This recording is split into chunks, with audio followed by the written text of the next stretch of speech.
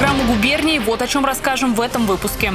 Скандал разгорелся в школе-интернате при Николо-Шартомском мужском монастыре. Заявление о домогательствах и жестоких методах воспитания директор называет происками пятой колонны. В области проверили 113 детских садов. Определены те, которые требуют срочного ремонта, поскольку небезопасны для малышей. В Иванове ведут работы по ремонту крыши Дворца искусств. Закончить должны в ноябре этого года. В Иванове в парке имени Степанова в минувшие выходные упала сухая береза. Повредила руку женщине. Кто должен следить за аварийными деревьями и получит ли пострадавшие компенсацию, мы узнали. На дерби между торпедой и текстильщиком пришли 5000 болельщиков. Чем порадовал клуб своих гостей на юбилей, не пропустите. У меня прям просто мурашки такие шли. Я в шоке. Когда еще вот фейерверк был, я думаю, да что это такое? Я говорю, это просто, это что за космос такой? Я был в шоке. Но все рады, вся команда молодцы. Ивановский скульптор в своей мастерской собирает терминатора. Фигура будет состоять из более двух тысяч деталей. Че в Иванове? Как на самом деле создавались Денискины рассказы, поделился герой книг Денис Драгунский. Отрывки из неизданного прочитала Татьяна Толстая. Мы расскажем, как прошел первый книжный фестиваль. Боже мой, а без книг вообще жить невозможно. Вы читаете часто? Э, Every day. ОБЖ книга интересная была.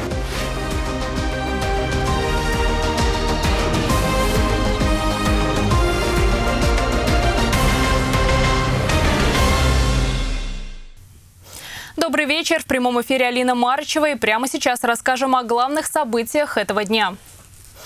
Опасные для детей сады выявлены в регионе. Проверку проводила общественная палата. Определены учреждения, которые будут отремонтированы в этом году. По какому принципу выбирали объекты, расскажет Ирина Афонина. Решение провести проверку состояния дошкольных учреждений губернатор озвучил в начале июля в Юже. Тогда же поручил общественной палате провести тотальную проверку всех садов региона. Через социальные сети привлекли и родительское сообщество. В итоге только на 112 садов поступило тысяча заявлений от родителей. В понедельник глава региона послушал отчет о проделанной работе.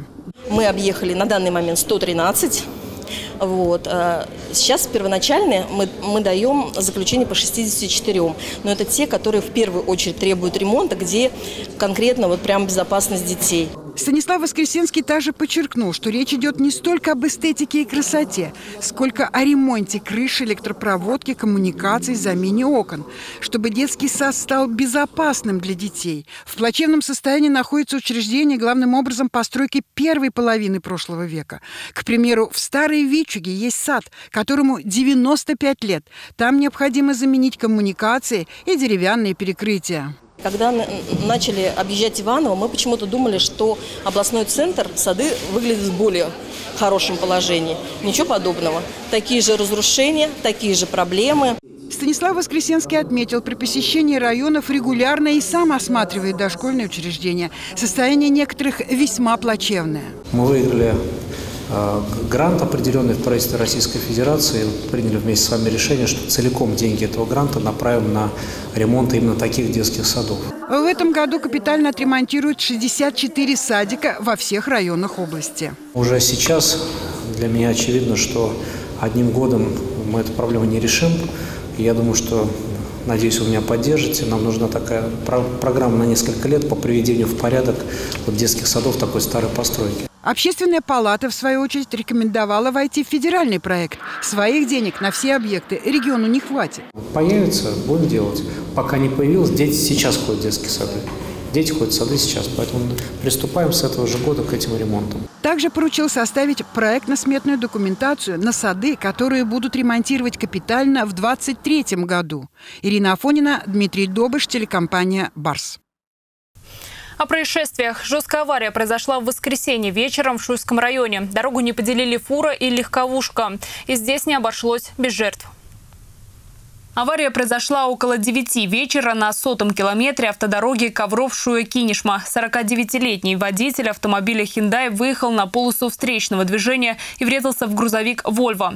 В результате жесткого столкновения водитель легковушки скончался на месте до приезда скорой помощи. Полиция проводит проверку. И еще об одном происшествии. На прошлой неделе мы рассказывали про ЧП в Лежневском районе. Семилетнего мальчика задело прицепом трактора. Стало известно, что ребенок скончался в больнице. Следователи возбудили уголовное дело. В результате наезда на велосипедиста мальчик получил травму головы и груди и 5 августа от полученных телесных повреждений скончался в медицинском учреждении. Следователям проведен осмотр места происшествия, назначена медицинская автотехническая судебная экспертиза. По уголовному делу проводятся следственные иные процессуальные действия, направленные на установление всех обстоятельств произошедшего, а также сбор доказательственной базы.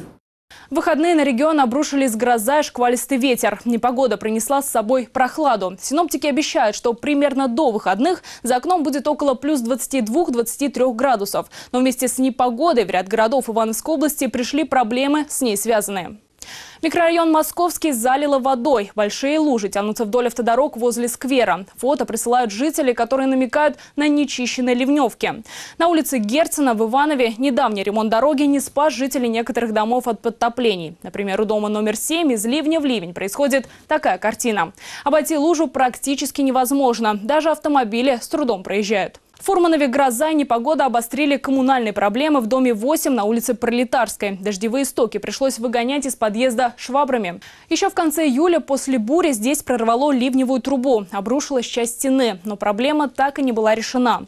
Сегодня после такого водопада на место вышли представители районной администрации. Нашли, что труба не просто износилась. Ее еще и содержали неправильно. В течение суток управляющая компания обещала заменить ливневку в доме и установить защитные колпаки на крыше. Что чтобы в последующем избежать потопа. Работы уже выполнены. А теперь переместимся в Кохму, где непогодой повалило деревья. Например, на улице Кочетова их городском кладбище. Коммунальщики в понедельник убирали снесенные ветром ветки и деревья. Пострадавших нет. В Ивановском парке Степана в воскресенье шквалистый ветер тоже устроил бурелом. На пешеходную дорожку упала сухая береза. И здесь уже сообщается о пострадавшей. У женщины повреждена рука. Этот случай подтолкнул нашего корреспондента Владимира Еремина узнать, кто и как следит за деревьями. Ивановский парк Степанова всегда считался безопасным местом для отдыха, любимый горожанами пешие прогулки вдали от оживленных автотрасс. В минувшее воскресенье здесь произошел несчастный случай. От упавшего дерева чуть не погибла женщина. ЧП, по мнению руководства парка, спровоцировали длительный период засухи и сильные в тот день порывы ветра. Девушку, которая пострадала, мы, к сожалению, не видели. То есть э, все, что мы увидели, это упавшее дерево. Естественно, дерево мы сразу же убрали для того, чтобы обеспечить людям проход. Директор парка добавила, пока дозвониться до пострадавшей не удалось. Руководство хочет уточнить характер травм. После лечения она может обратиться в городское управление соцзащиты и получить материальную помощь. Размер будет зависеть от тяжести увечий. Кстати, в областном центре не первый год действует программа помощи пострадавшим в результате техногенного или природного стихийного бедствия. По словам ивановцев, за помощью в мэрию горожане еще не раз будут обращаться. У нас по всему городу так. Что, не видно, что ли? Где не идешь, то ветки висят, прям это... Пройти вот так вот надо нагинаться, никто не обрезает то того и гляди упадут. Что тут? Просто нужен хозяин. Специалисты отмечают, опасность дерева зависит от многих факторов. Наличие гнили, сухих сучьев, наклона, размеров ствола и места его произрастания. Ответственность за содержание зеленых насаждений несет собственник земельного участка. Он же обязан износить деревья, которые представляют опасность для жизни и для имущества горожан. Если территория является территорией общего пользования – то за нее отвечает Комитет по экологии администрации города Иваново. Деревья, которые необходимо снести, представители Комитета по экологии обозначают крестиками. Насаждения, которые нужно кронировать, ноликами. И такая игра в крестики-нолики в Иванове, по мнению горожан, сильно затянулась. На улице Шубиных в Иванове можно встретить целую аллею вот таких аварийных деревьев. Все они помечены крестиками. Но когда их спилят, неизвестно. В мэрии утверждают, что нет финансирования. В мэрии отметили, в этом году в Иванове снесли 220 аварийных деревьев. И работы по очистке улиц от старых насаждений – непочатый край. В реестре более полутора тысяч деревьев под снос. Владимир Еремин, Максим Шишкин, телекомпания «Барс». Во Дворце искусств в Иванове ремонтируют крышу. Из регионального бюджета выделено более 20 миллионов рублей. Последний раз кровлю здания капитально восстанавливали более 10 лет назад. Конструкции давно были признаны аварийными и даже угрожали безопасности зрителей. Все подробности в репортаже Марины Зениной. Здание театрального комплекса на Покровской горе возвели в 1940 году по проекту известного архитектора Александра Власова. Построили на месте снесенных храмов. Уже через 8 лет потребовался серьезный ремонт. Здание даже хотели снести, но в 1960 году закрыли на реконструкцию. Спектакли здесь вновь начали ставить в 1987 Крыша продолжала периодически течь. Восстанавливали ее каждый год своими силами. Последний Последний глобальный ремонт был в 2010 году. Из года в год э, наблюдались как бы действительно серьезные промочки. В общем-то, угрожало э, тем зрителям, которые приходят на спектакли. В 2018 году здание, э, значит, был проведен комплексное обследование. И было признано значит, аварийным как состояние кровли, который на сегодняшний день представляет из себя 7 уровней сложности. В этом году по поручению губернатора Станислава Воскресенского на реконструкцию кровли из регионального бюджета выделили более 20 миллионов рублей. Здание является памятником архитектуры. Работы были согласованы с комитетом по охране. Контракт прошел госэкспертизу. Демонтаж начали в мае. Столкнулись с небольшими проблемами в плане увеличения Э, объема по демонтажу. Было вывезено порядка 300 кубических метров э, ну, мусора, по сути, бетона, керамзита, линокрома, всех слоев, которые здесь были. Э, газосиликатные блоки были обнаружены. Над фойе и театром кукол уже заканчивают монтаж современного утеплителя. На него также положат бетон, два слоя изоляции и плитку. Площадка будет прогулочной. Через двери в фойе также можно будет выйти в случае эвакуации. Более масштабные работы проводят на следующем уровне. Под ним находится зал музыкального театра. Площадь этого уровня 1600 квадратных метров. На данный момент везде положили стяжку. 40% покрыли биполем. Пароизоляцией на этой неделе должны закончить закончить. Это позволит избежать проблем с промочками и начать театральный сезон вовремя. В дальнейшем приступят к монтажу утеплителя и слоев кровли. По словам подрядчика, строители идут в графике. Даже надеются сдать объект в октябре, а не в ноябре этого года, как положено по контракту. От идеи разместить здесь кафе или организовать показ фильмов под открытым небом руководство отказывается. Как говорят специалисты, конструкция кровли для таких нагрузок не предназначена.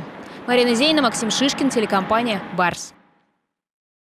Ивановский скульптор собирает терминатора. Модель, которую создает Максим Вишняков, появится в популярной мобильной игре по мотивам знаменитых фильмов. Сейчас мастер завершает работу над киборгом. В его мастерской побывала моя коллега Яна Ведерникова. Initiating system one.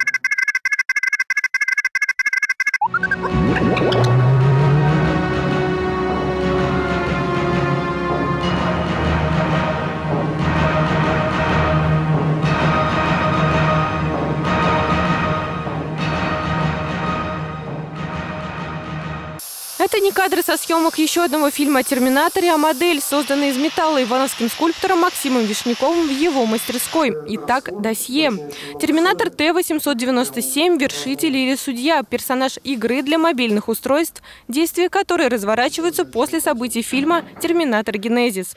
Работа над этой моделью для Максима – проверка собственных сил – по сложности исполнения эта культура не сравнится ни с чем, что до этого делал мастер. Скульптура собирается из частей, потом эти части, то есть это не одна целая оболочка, как в других скульптурах. Э, много разных отдельных частей, потом собираются вместе. Вот сложность в подгонке, чтобы это все сошлось в единое целое. Деталей больше двух тысяч, две с лишним тысячи деталей, э, полигонов чуть больше 13 тысяч. Для сравнения, например, в модели Добермана 90-95 деталей, полигонов не более 200. Вот рука, локтевой сустав согнутый будет. И дальше пойдет предплечье. В руках у терминатора будет оружием. Это два таких бластера. Сейчас модель весит 70 килограмм. Вместе с бластерами вес перевалит за сотню. Метр двадцать примерно будут они длиной из рюкзака. Шланги будут подходить к ним. И в руке оружие в руках. Было несколько попыток сделать киборга. В итоге скульптор остановился на варианте с подсветкой. В череп терминатора он поместит красную лампочку. По словам Максима, на завершение работы потребуется еще где-то месяц. Яна Ведерникова, Владимир Хмелев, телекомпания «Барс».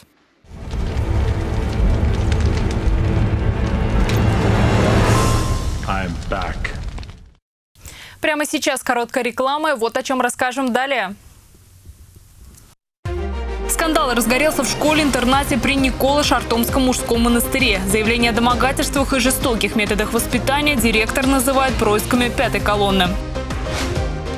На дерби между торпедой и текстильщиком пришли 5000 болельщиков. Чем порадовал клуб своих гостей на юбилей, не пропустите. У меня прям просто мурашки такие шли. Я в шоке. Когда еще вот фейерверк был, я думаю, да что это такое? Я говорю, тут просто, это что за космос такой? Я был в шоке. Но все рады, вся команда молодцы.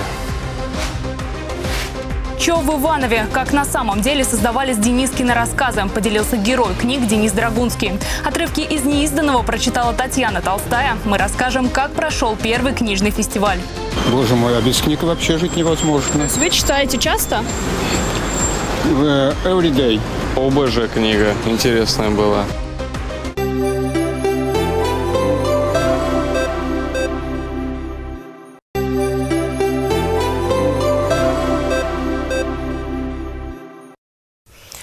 Школы при Николо-Шартомском монастыре в минувшую пятницу силовики вывезли всех воспитанников и распределили по детским домам.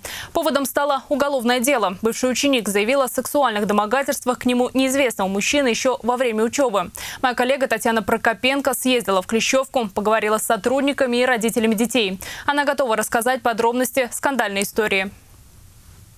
Каждое лето школа проводит такие военно-спортивные сборы. На своей же территории в Клещевке. Лапта, футбол, зорница, встречи и занятия с военными и правоохранителями. Пятничная встреча с силовиками была неожиданной. Утром в 6.30 более двух десятков человек приехали в лагерь проводить следственные действия с сотрудниками и детьми. Было предъявлено постановление, а, в котором говорилось, что возбуждено уголовное дело. Не помню, по-моему, 132 что ли, статья. И какой-то неизвестный мужчина э, вел действия, производил действия сексуального характера по отношению к одному из бывших воспитанников школы. В помещениях школы провели обыски, изъяли официальные документы, личные записные книжки, телефоны. Во второй половине дня часть сотрудников забрали в Следственный комитет. Вместе с ними забрали и нескольких воспитанников. Остальные до вечера просидели в трапезной. Родители узнали о происходящем уже после того, как вечером детей увезли автобусами из школы. Только в субботу стало известно, что воспитанников распределили по детдомам региона. Без согласия родных, но по согласованию с органами опеки. У Елены Курочкиной на сборах двое детей. Сама она была в Екатеринбурге. Ночью уже из детского дома ей позвонил сын с чужого телефона. Первым же поездом она отправилась в Шую. Органы должны реагировать на какие-то сигналы, но при этом все должно быть соблюдением закона, соблюдением прав детей и их родителей. А когда вы узнали о происходящем? Я узнала о происходящем, когда дети уже были в детдоме потому что их отсюда увезли в неизвестном направлении. И э, в течение полудня я не знала, где находятся дети, что с ними происходит. Никто меня не поставил в известность. Это было не просто тяжело, мне казалось, что я просто сойду с ума. Елена говорит, дети хотят остаться. Они с мужем решили вернуть их Клещевку. Для них эти сборы – испытательный срок перед приемом в школу. Семья года жила за рубежом и сейчас решила вернуться, чтобы франкоговорящие сыновья узнали лучше родной язык и свою страну. Сейчас Елена в растерянности. Что будет дальше? За выходные продолжить сборы вернулись примерно половина воспитанников. И дети, и родители верят сотрудникам школы и считают обвинения непонятными. Школа продолжает работать. На данный момент ни один из э, взрослых, ни один из сотрудников, ни один из воспитателей не задержан. Никому ничего не предъявлено. У меня четыре года здесь учатся мальчишки. Вот, и э, я, собственно говоря, постоянно здесь, поэтому я знаю ситуацию о школе как бы вот непосредственно своими глазами. Поэтому все, о чем говорят как бы, со стороны в прессе, вот, ну, такого нет. Все, о чем говорят, это не только о проверке по возможному факту сексуальных домогательств. Публикация о вывозе детей и следственными действиями в школе при монастыре вызвала сотни откликов в интернете. Свои комментарии оставляли и родители, и бывшие ученики. Большинство из них слова поддержки, но несколько воспитанников поделились своими негативными воспоминаниями. Один из учащихся, Алексей Григулецкий, сам обратился в нашу редакцию, чтобы рассказать, почему в свое время ушел в православную гимназию в другой регион так было такое понятие система наказаний в школе, в частной, за которую платится, извините, при мне платилось 15 тысяч в месяц. Не система воспитания, а система наказаний. То есть это могла быть порка, пожалуйста. То есть это либо в комнате э, воспитателя, то есть там кабинет, тебя туда заводят, и там, ну, меня, допустим, лупили чаще всего лыжной палкой. То есть лично меня. Ребят лупили, э, я помню точно, они ходили как тигры полосатые э, шнуром, то есть э, удлинителем. При этом Алексей подчеркивает, к самой школе и педагогам общеобразовательной программы претензий у него нет, только к руководству и части воспитателей. Ни о каких случаях домогательств сотрудников к детям он также не слышал. В самой школе отрицают и обвинения в жестокости. Говорят, воспитывают по Рачинскому, Сухомлинскому, Макаренко. Не бьют и не сажают на хлеб и воду. Это неправда. Это неправда. И а, на самом деле а, здесь может быть просто а, желание, знаете, как усугубить. Я уж не знаю, конечно, вот это все, а, откуда он вообще все это взял. Вот. Мы хлебом и водой никого не наказывали. Я не знаю, откуда это он взял. Следственный комитет ситуацию в монастырской школе не комментирует, но, похоже, непосредственной угрозы детям силовики уже не видят, поскольку не препятствуют возвращению учеников в Клещевку. Следят за происходящим и в службе уполномоченного по правам ребенка. Там готовы принять обращение родителей, если те считают, что были нарушены права детей, или рекомендуют им обратиться в прокуратуру. Татьяна Прокопенко, Денис Железов, телекомпания «Барс». Пять тысяч болельщиков в гостях Александр Мостовой и разгромная победа над принципиальным соперником. Так текстильщик отметил свой юбилей. На нем побывал и мой коллега Денис Воробьев. До встречи с Владимирским торпедо остается час. Очередь от ворот стадиона до здания энергоколледжа. На входе раздает автографы легенда футбола Александр Мостовой и комментатор Матч ТВ Константин Генич. Теперь, конечно, народу много, но как-то смогли протиснуться. Ну, нормально, минут 20-30 буквально, ничего страшного. Все, это все красиво. Шикарная погода, шикарный матч, юбилейный, как сказать, год.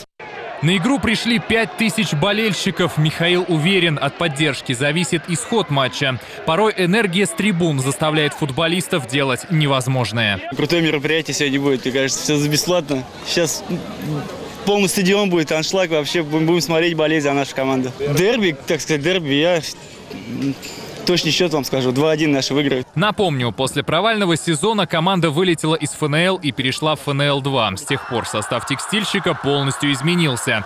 За Игоря Колыванова хочется умирать на поле. Цитата защитника Дмитрия Шилова на праздничной программке. Новый тренер поставил цель вернуть свое место в ФНЛ, выбрав для этого агрессивный стиль игры. На момент встречи с Торпедо красно-черные были на третьем месте в турнирной таблице. Оппонент в аутсайдерах. Встреча соседей дело принципа.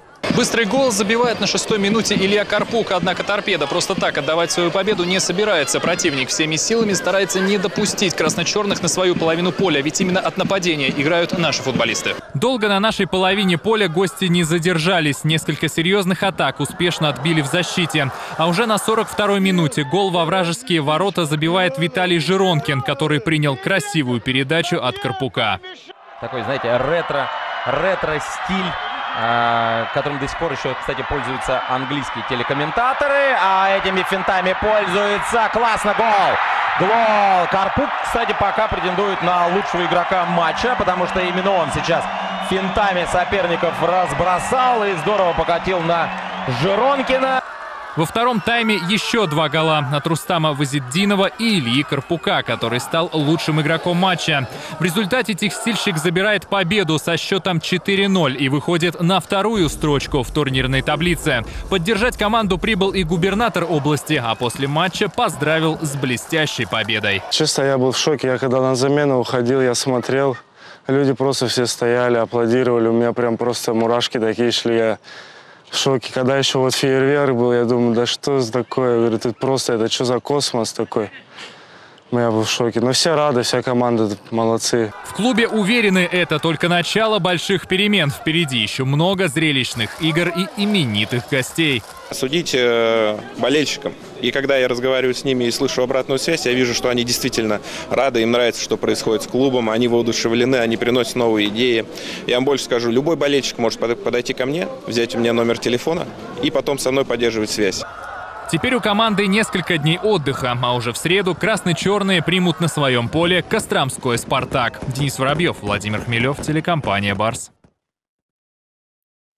Минувшие выходные были богаты на события. Суббота – просто космос. На поле у деревни Дегтярева прошел семинар «Летний треугольник». На нем собрались юные профессиональные звездочеты. От неба они не могли оторваться до двух часов ночи. Десяток телескопов и казалось, что Луна, Марс, Сатурн, Юпитер, а еще Нептун и Уран находятся на расстоянии вытянутой руки. Астроплощадка собрала более 200 ивановцев и москвичей. Самые увлеченные остались встречать рассвет. Выходные Комсомольской Юрьевец отметили дни рождения. Традиционно были награждения, концерты и аттракционы. А вот деталь. Яркими красками заиграли благоустроенные места отдыха. Так, в новом парке Комсомольска представители старшего поколения устроили дискотеку. Никого не стесняясь, отплясывали под Песнеров и Шатунова. И такому жизнелюбию можно только позавидовать.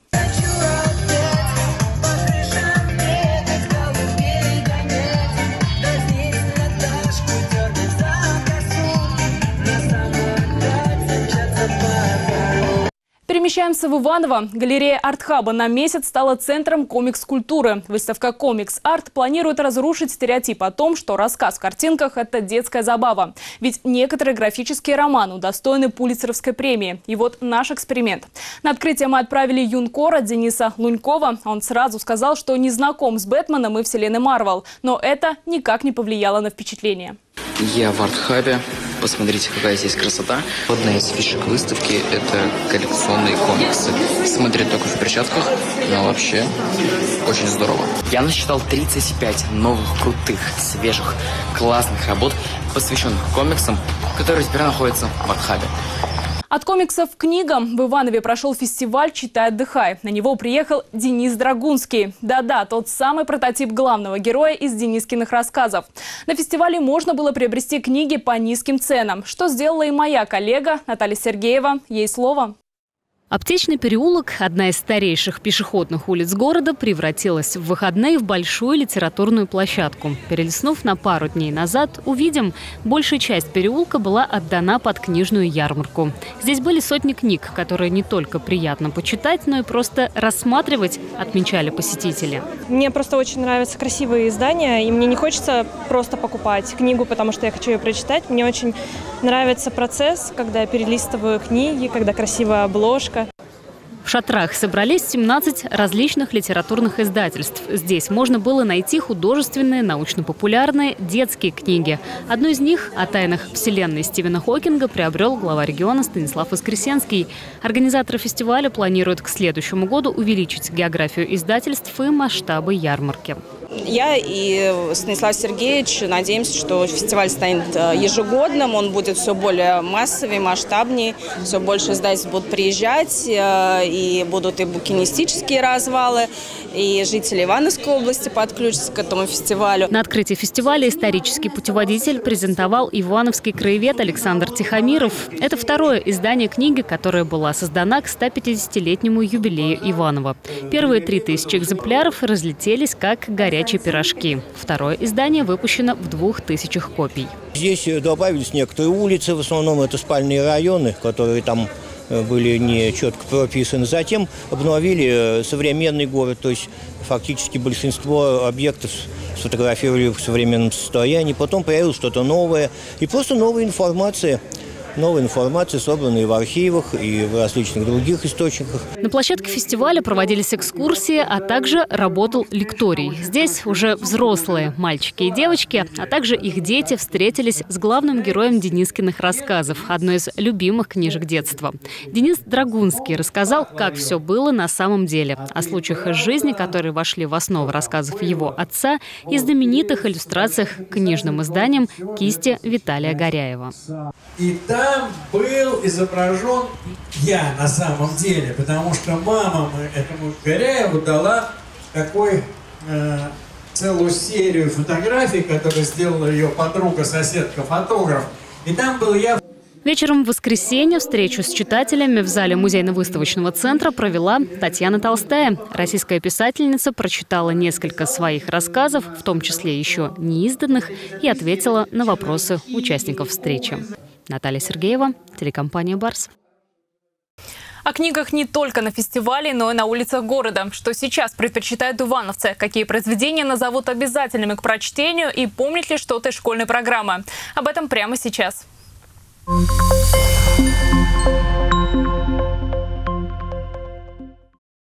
Читаете ли книги и часто ли?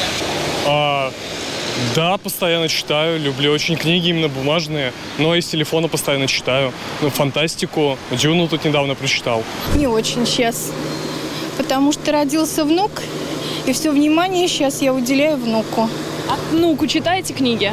Ну, детскую литературу. Раньше читали в школе, а сейчас уже нет. Что из школьной программы больше всего запомнилось? Физкультура. А из книг? ОБЖ книга интересная была, и все. Боже мой, а без книг вообще жить То невозможно. есть вы читаете часто? Э, Every day. Не читаю. А почему так? Нет времени. Я в основном Пелевина сейчас читаю. А что вы посоветовали каждому вот обязательно нужно прочитать? Если честно, я бы посоветовал каждому почитать русскую классику. Если из школьной программы, то мне очень «Капитанская дочка» э, нравится. Начать с букваря, а дальше там сами разберутся. «Войну и мир». Анну Каренину. Я, конечно, не против книг, но все равно... Ну, меня это не привлекает. Вот. Отцы и дети, знаете такое? Знаем, Да, проходили. Мне, если честно, не очень понравилось. Не мое произведение. Да, очень тяжелое произведение. Трудно читается. Отцы и дети кто написал? Тургенев. А главного героя вспомните? К сожалению, нет. А Базаева помню. Книги листов. Базарова, да. Это не та книга, ради которой я стал напрягаться. И дети пропустил в школьной программе. Вот. Жалеете? Наверное. А продолжить можете? Умом России не понять. Умом России можно только верить, как-то так. Аршином точно не измерить. А, у ней особенная стать, в Россию можно только верить. А теперь о погоде. Что же прогнозируют синоптики на ближайшие сутки? Государство каждому гражданину, который платит кредит, дает право раз в пять лет списать кредитный долг. Узнайте как. Звоните 245 745. Во вторник в нашем регионе ожидается пасмурная погода, дождь. Температура воздуха днем плюс 18, плюс 20 градусов. Ветер северный 1-3 метра в секунду. Атмосферное давление составит 754 миллиметра ртутного столба. Влажность воздуха 87%. По прогнозам синоптиков, в ближайшие дни нас ждет умеренно жаркая погода до 26 градусов дневные часы, временами осадки. Держим цены для самого важного. Избавьтесь от варикоза лазером по старым ценам в клинике «Варикоза нет» в Иваново. Не упустите выгодную возможность подарить здоровье ногам этим летом со скидкой до 15%. Звоните 300 300. Сразу после новостей объявления в городской хронике. Интересные истории, видео и фото вы можете отправлять на наши редакционные мессенджеры. Это Вайбер и Телеграм, номер вы видите на экране. Присылайте свои темы через сайт Иваново News или звоните по телефону горячей линии 58 77 77. Я с вами прощаюсь. Удачи!